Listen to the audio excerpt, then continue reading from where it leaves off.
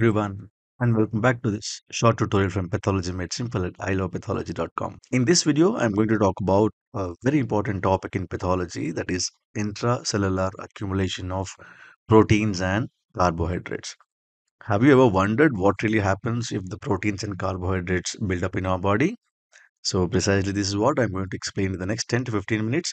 We will look into the various causes, mechanisms, and significance of intracellular accumulations of proteins and carbohydrates. So before that, let's uh, uh, uh, know recollect what we have learned in the earlier classes. If you are new to this channel, I would suggest you to go back to the you know playlist in my channel that is cell injury and adaptations, and then go through the videos once so that this video makes sense. So what are these accumulations? Accumulations in the cell can be of normal constituents of cell metabolism which may be due to defects in packaging or transport that is accumulation of fat you know accumulation of proteins and accumulation of carbohydrates.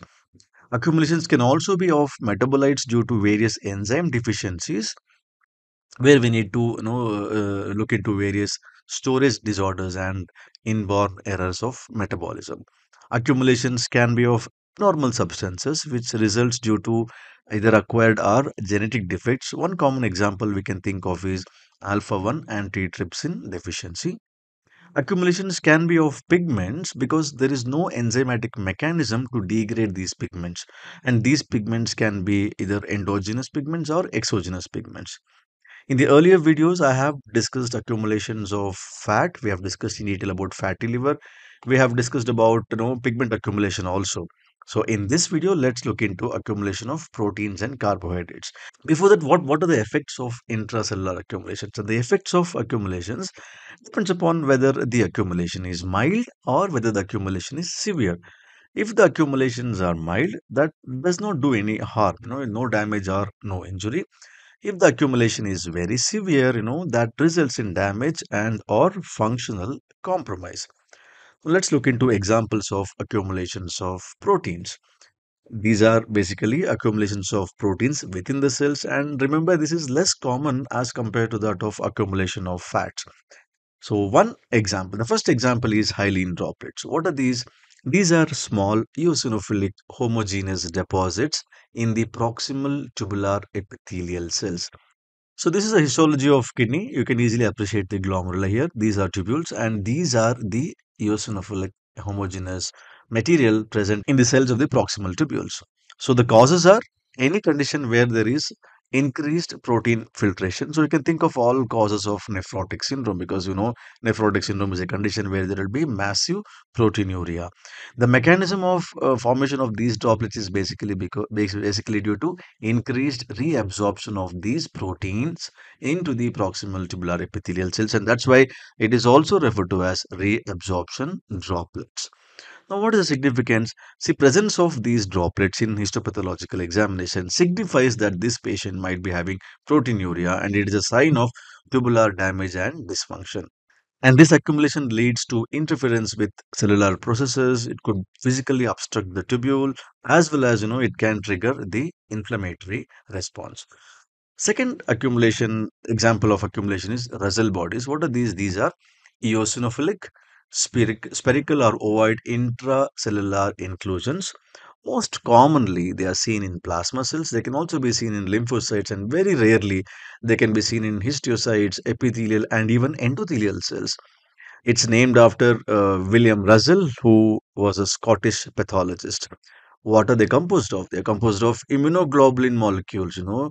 Remember, these are not normal immunoglobulin molecules. These are the ones which are improperly folded are degraded ones.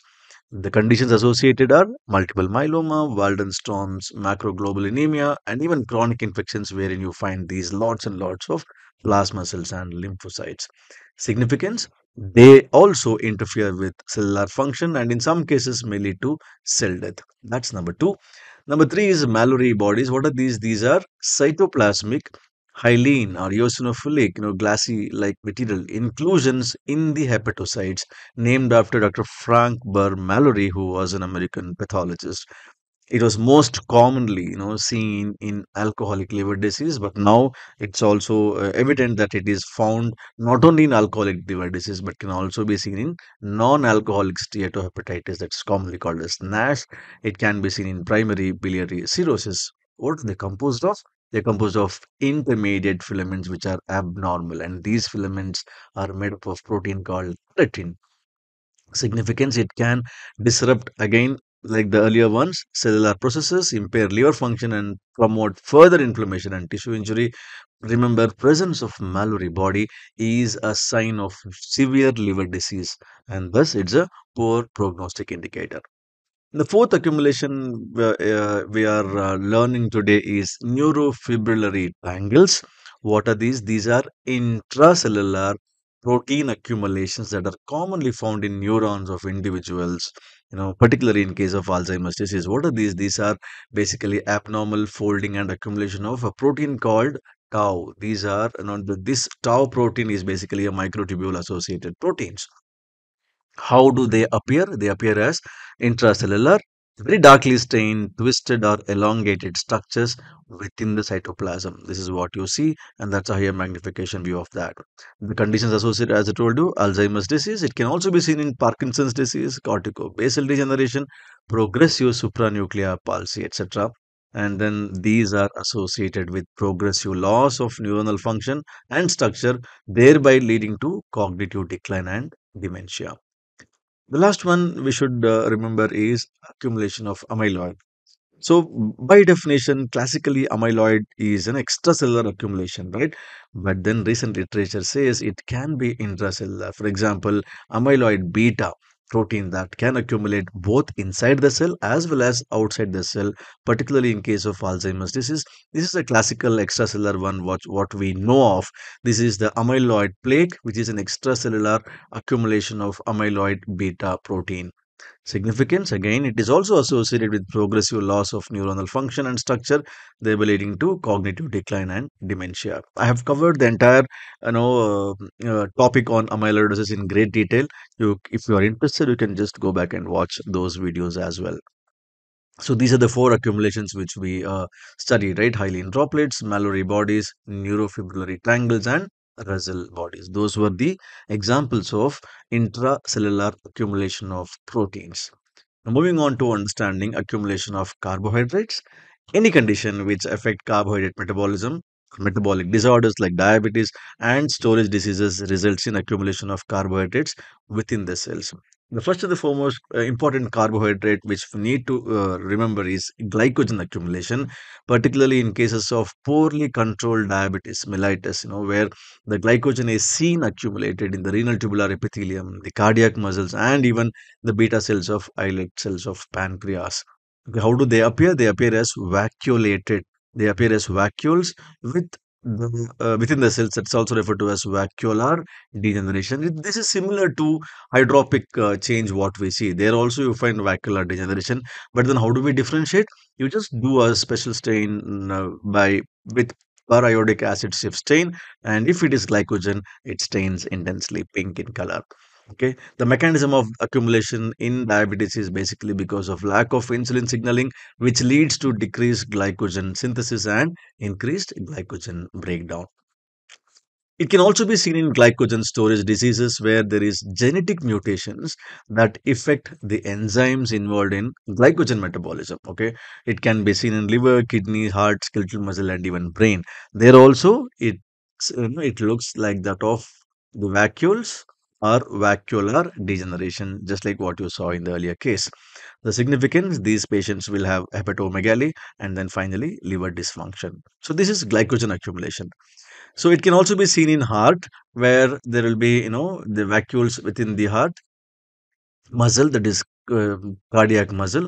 In this is a special strain where you can easily see this pink material is basically glycogen within these cardiac myocytes. So the significance is these patients can have cardiomyopathy and finally cardiac dysfunction. The second type of carbohydrate accumulation which we need to understand is glycosaminoglycans. What are these? These are complex carbohydrates. They are also called mucopolysaccharides because the, these are important components of the connective tissue such as the cartilage, tendon and skin And then they are normally broken down and eliminated by lysosomal enzymes.